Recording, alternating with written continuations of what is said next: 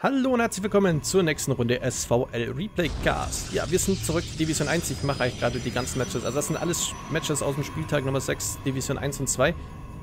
Und ja, wir haben als nächstes den Protoss vom Berlin Esports Club. Es ist Holy Hit.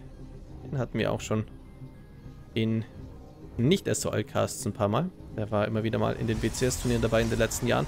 Und der spielte gegen den Terraner hier in Gelb bei Bremen Esports. Es ist Chaos.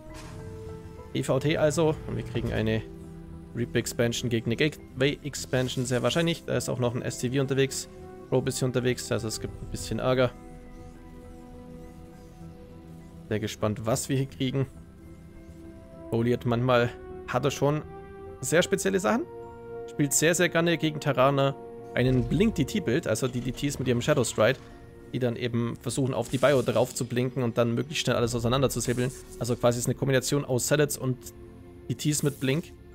Und läuft dann eben so ab, die DTs blinken hinter die Bio, dass sie nicht vorne vor den Salads weglaufen kann. Dann nimmt man wirklich die Bio in so eine Grätsche und die kann dann nichts tun, außer, ja, zerstückelt werden zwischen den wirklich High DPS Einheiten. Wenn der Terraner nicht mehr kiten kann, ist die Bio nicht mehr ganz so gefährlich. Das ist schon so ein Punkt. Aber mal sehen, was Howlet hier wirklich vorhat. Erstmal Chaos eben unterwegs mit seinem Reaper. Kommt noch Marine mit dazu. Beide expandieren, wie gesagt. Und die Initialworker haben das auch überlebt. Es ist noch nichts verstorben in diesem Match. Da kommt der Adept als Defensive. Da ist eine Wall gebaut, damit der Reaper nicht reinspringen kann. Das heißt, er muss über die Rampe reingehen. Und da kommt ein Twilight Council. Also die Richtung, Richtung die Tease ist auf jeden Fall nicht ganz verkehrt. Schauen wir mal. Momentan 2, 3, 2 und 3 im Gas. Die Probes haben aber durch die Mine weggeworfen und der Reaper wollte dann Probe-Kill.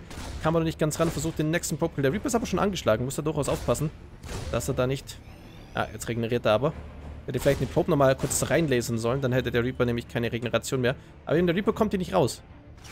Und somit der Depp macht nochmal einen Attack und macht nochmal Attack. Oh, 8 Hitpoints auf dem Reaper. Und der Reaper, oh, der Reaper bleibt stehen. Damit kommt er nicht dran vorbei. Die Kurve war, glaube ich, ihn fast ein bisschen zu eng. Aber er bekommt Holiet den Reaper, er verliert keine Probe dran. Das Twilight Council wurde allerdings gesehen. Bei der auszusehen, das Tempo verlangsamt. Die Probe hier war nochmal unterwegs. Und ja, vorne gibt es einen Bunker, der ist auch schon fertig. Da sind Marines drin, Factory ist fertig. Und da kommt dann eine Doppelrex. Widow ebenfalls, danach der Starport. Das heißt, man kann mit starken Drops anfangen. Und da, ja, Holy Hit mit dem Dark Shrine. Dark Shrine und Robo. Da kann man mit DTs das Wasser testen und danach trotzdem eben noch ein DT-Blinkbild nachbauen. Und währenddessen der Depp wird einfach hart fokussiert. Oh nein, aber jetzt das Fokus wird gerade geswitcht aufs Command Center. Ah, Chaos mit dem leichten Missklick. Klar, der war in der Nähe. Und auszusehen dann das CC angeklickt. Das ist natürlich unschön. Das wäre ein sicherer Kill gewesen auf dem Adept. Die DPS hätte locker gereicht. Somit das Ding lebt noch, kommt erstmal zurück. Und währenddessen die Robo ist fertig, Darkschwein wird fertig. Dadurch, dass der Reaper nicht mehr lebt, auch keine Möglichkeit für Chaos das zu scouten, außer er scannt. Und da kommt jetzt ein Drop mit rüber. Währenddessen ist Stim unterwegs. Und das soll dann einen Widowmine-Drop geben, so wie es aussieht. Weil Widowmines sind halt nicht so wie Spider-Mines. Spider-Mines sind auch effektiv gegen getarnte Einheiten, die explodieren trotzdem. Widowmines hingegen, die haben keine Ahnung. Wenn keine Detection da ist, sehen die Widowmines nicht, wenn was Unsichtbares rumschleicht. Daher die Spider die Widowmines sind jetzt nicht so hilfreich gegen die Ts ohne den Scan. Aber hilfreich eventuell gegen das War Prism. Wenn das den Shot abkriegt, ist es schon ziemlich angeschlagen. Und ist dann relativ leicht zu snipen. Aber jetzt geht erstmal der CDT Warp in. Oder auch nicht.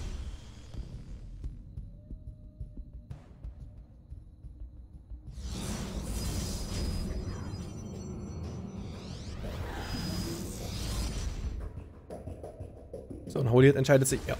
Das ist, das ist der Holiet-Bild, wie ich ihn kenne. Das ist Charge und das ist DT Blink. Warum wird das nicht als Logo angezeigt? Weil das wahrscheinlich nicht implementiert ist im Addon. Das ist auch super. das hat es nicht mit reingeschafft. Ja, Shadow Stride auf jeden Fall unterwegs, genauso wie Charge. Das ist genau die, die Combo, die man braucht. Wenn das denn hier geht's los mit DT in der Natural, DT in der Main und die Schmatzen für Chaos nehmen zu. Denn ja, sein Widowmine Drop ist gerade unterwegs und mit Marines auch noch dazu. Und die Widowmines haben schon geschossen. Es sind... What? Was? Wo? Okay, wir müssen das auf jeden Fall. Es, ist, es geht sehr viel ab. Warum verlieren beide gerade Worker? Der nicht in der Mainbase sabelt sich durch. Währenddessen kam aber der Drop in der Natural an und das war eben Chaos-Fokuspunkt. Da hat nämlich Holy nicht reagiert. Das heißt, hier. Oh, ja, die wieder mal war das. Acht Kills. Die Marines sind auch da. Das heißt, es sterben auch einige Probes, aber es sterben auch einige SCVs. Und somit bei beiden leidet das Mining, das beim Terran leidet auch die Production. Also mit DDTs sind hier drin, die SCVs sind alle geflüchtet, nämlich zum Bunker, wo gerade ein Mistletoe geschraubt wird, damit zumindest die Position safe ist. Aber die Mainbase leidet trotzdem an den DTs. Und Scan ist eine verfügbar, aber es fehlt halt auch die DPS, um das in den Griff zu kriegen. Wenn das hier Marines und Widowmines wurden gekillt. Es hat 14 Probes gekostet und 10 SCVs, aber hier wurde schon mal das eine Gebäude zerlegt. Hier wird einfach die Production zerlegt. Die Ds haben noch nicht mehr Blink. Plus 1 noch unterwegs für den Terraner und die Barracks hier, die ist auch nicht mehr zu retten. Da kommt zwar ein Scan, aber es ist eben Warpisten dabei, um die DPs easy da rauszuziehen. Stim wird zwar gezündet, aber hilft in dem Fall für Chaos nicht. Hat jetzt sein ganzes Mining auf die Natural versammelt, hat jetzt einen Bunker, der leer ist. Und eben Holiet wird nachsetzen mit Blink DT und oder halt, ja, die T-Blink, so rum. Und Charge. Da kommt auch schon der nächste Warp hin, da laufen die anderen drüber. Holiet weiß genau, was er vorhat. Auch wenn er da Worker verloren hat, er hat das nachproduziert und wird einfach die nächste Welle starten. Und Chaos Army Supply ist halt schon ziemlich angeschlagen. Er hat den Bunker, aber gegen die DPS wird er das nicht lange aushalten. Den ist eben seine Production auch limitiert. Er hat noch eine Barracks, eine Factory und ein Starport. Sein Plus 1 wird vielleicht noch fertig werden, aber der Observer hier Sieht bereits die Wall und ja, da kann die Party losgehen. Shadow Strider ist da, Charge ist da. Und ich sehe gerade nicht, wie Chaos das überleben will, weil auch die SCVs waren einfach... Das wird ein Gemetzel gegen die SCVs, sobald die in den Fight ziehen. Das macht überhaupt keinen Spaß gegen so viele DTs. Ja, DTs, genau das ist der Move. Blink hinten rein, die SCVs blocken zwar vorne die Salets, aber hinten drin die DTs saven alles durch und Chaos, er lacht da auch drüber. Er wusste, dass da nachgesetzt wird. Und eben das, das Chaos mit DTs und Widowmines, da hat eben einfach Chaos mehr dabei abgekriegt. Und Holiet hat dann einfach easy nachgesetzt und das war dann ein leichtes da drüber zu pushen. Somit 1-0 an den Protoss und wir gehen in Map Nummer 2.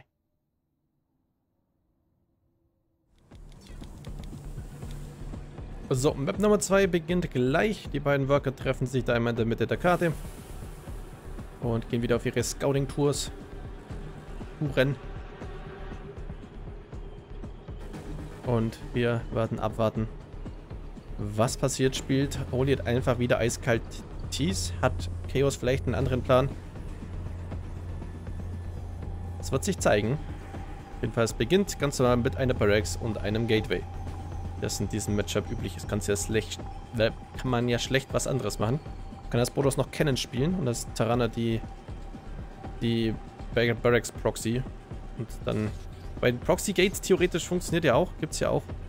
Man aber quasi nie, weil es gegen Terraner nicht wirklich Sinn macht. Denn quasi das sinnvollste Proxy Gate, das man spielen könnte, wäre In-Base. Aber da der Terraner grundsätzlich sein erstes Gebäude schon an die Rampe klatscht, sieht er auf jeden Fall, wenn was die Rampe hoch will. Entsprechend ist In-Base ein Ding der Unmöglichkeit. Oder sollte ein Ding der Unmöglichkeit sein.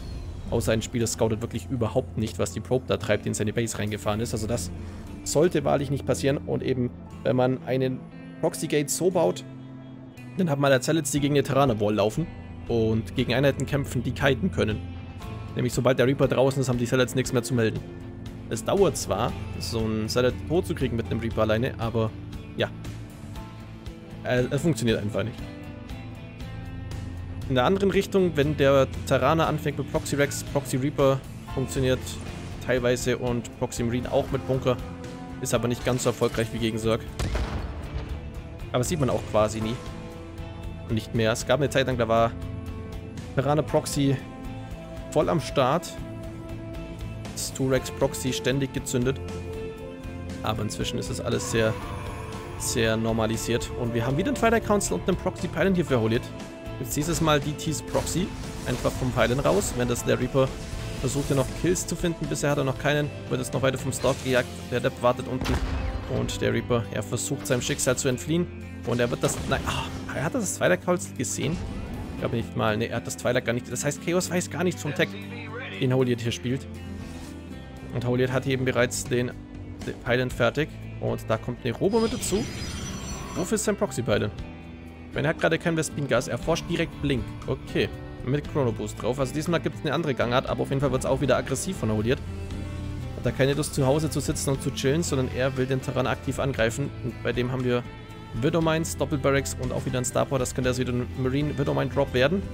Das gegen Stalker ein bisschen gefährlich. Wenn die Stalker den halt finden, wenn der jetzt irgendwie gerade hier rausfliegt, dann gibt es da einfach einmal den, den Blink drauf und dann ist das Medivac mitsamt den Einheiten down und dann sieht das für den Terraner ziemlich übel aus. Adept hier kommt erstmal nicht rein gegen den Bunker, hat den Shade aber noch am Laufen. Wurde aber von der Wall geblockt. Ersten wird erforscht. Und die erste Widowmine ist da. Da kann jetzt auch ein Medivac produziert werden. Und eine weitere Widowmine. Bei Chaos gerade noch das Vespin-Gas dafür fehlt. Aber da kommt eben die zweite Rex online und hier ist jetzt das Gate mit dran, damit ist das auch ein schneller Warp-In-Peilen. Schneller Warp-In-Spot.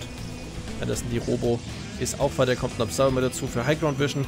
Das heißt, er braucht gar keinen Warp, es muss er einfach hier reinwarpen und dann mit dem Observer einfach in die Mainbase reinspringen. Währenddessen haben wir ein Missile Turret unterwegs und ja, Blink plus 1, äh, Stim plus 1, Blink. Braucht gar nicht mal mehr lange. Die Wall vorne wird gesehen. Ja, noch nicht tatsächlich. Der hat bis noch außerhalb der Reichweite. Aber die Stalker sammeln sich eben hier bereits. Und das ist jetzt genau das. Oh, das. Nein. Nein. Oh nein, Chaos. Oh nein. Das ist genau das, was, was ich befürchtet habe. Oh, das ist jetzt so. Das ist halt. Ja, das waren. Das war 75% von Chaos Army Supply. Für, und er hat nichts dafür bekommen. Und ist Medivac ist down, seine Widowmines sind down. Da kommt ein Notfallbunker, da beginnt Marauder-Produktion, aber Blink ist fertig, Observer ist da. Und ich, ich, also, ich weiß nicht, kann Chaos hier wirklich eine, eine magische Defense rauszaubern? Ich sehe es gerade nicht, weil einfach gerade schon zu viel verloren wurde. Und er halt auch keine Info von dem ganzen Gore Man sieht, die SCVs waren direkt mit reingezogen, die ersten SCVs sterben. Die Stalker können jetzt ganz entspannt die Rampe runterblinken. Bis der letzte Stalker ja, sie brauchen gar keinen Stalker oben, denn die, die Vision ist sowieso dann, die blinken sogar nach vorne auf den Marauder. Marauder ist down, SCVs zu 12 bereits weg. Das ist ein, ja, an der Serie hatte Chaos nicht viel Spaß, aber gut. Ich glaube auch der MMR-Unterschied zwischen den beiden ist ein, ein gutes Stück. Holiet ist ja durchaus stark unterwegs. Und somit macht Holiet das mit einem relativ schnellen 2 zu 0 von DT-Blink into Normal Blink mit den Stalkern und eben der glückliche Snipe auf das Medivac. Das war halt echt bitteres Timing für den Terraner, dass das Medivac genau über die Stalker fliegt und halt dann sofort down ist mitsamt Inhalt und da gar nichts erzielen kann. Das ist schon ja, ein bisschen schade gelaufen für Chaos, aber so ist es manchmal. Damit endet dieser Cast. Vielen Dank fürs Zusehen. Bis zum nächsten Mal und ciao.